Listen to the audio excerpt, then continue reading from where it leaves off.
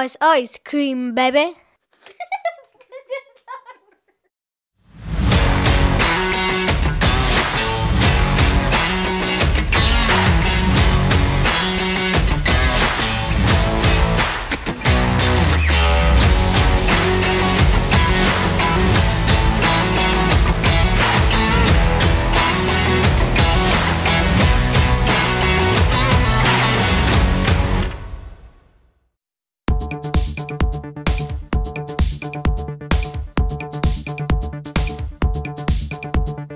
I believe that ice cream is a must for any household, especially if you have kids, and I just had to get it perfect.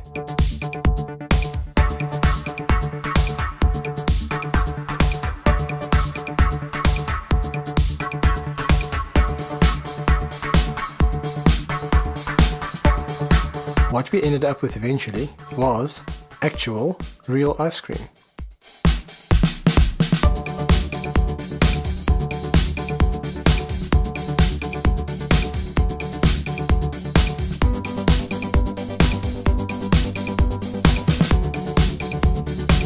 We don't really use milk in the household, so I substitute milk, as used with everyday ice cream, for coconut cream. This does give the ice cream a coconut taste, and if you prefer the exact taste of everyday vanilla ice cream, use full cream milk instead of coconut milk. You can also give almond milk a try. Cream is a must, so get the good stuff.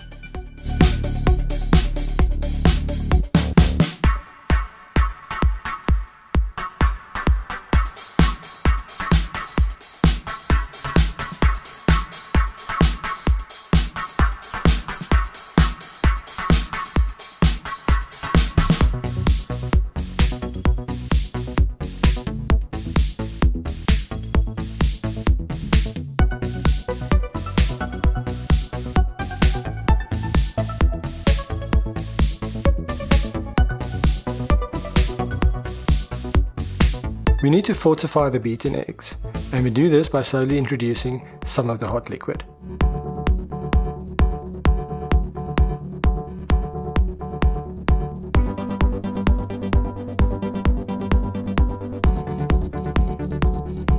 When the eggs are fortified, we slowly add everything back into the hot pan.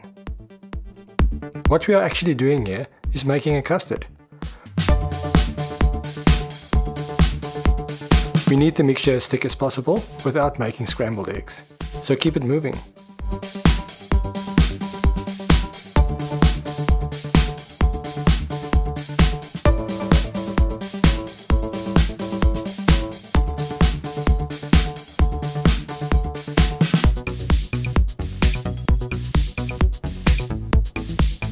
Don't go over 80 degrees Celsius as that will create lumps.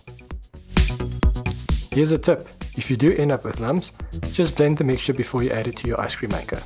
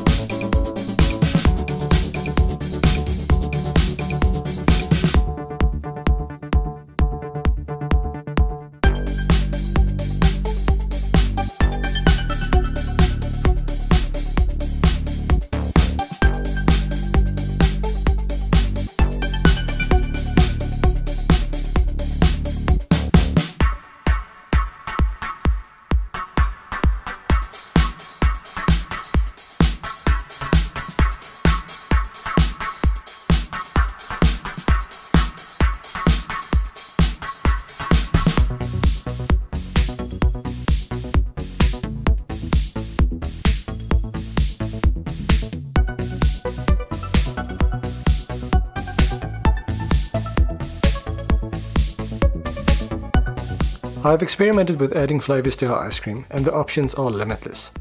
You can add things while cooking the custard, add it right into the ice cream maker, or drizzle something on top after spooning. we like adding some of our homemade dark chocolate. Blueberries or homemade butterscotch is always a favorite.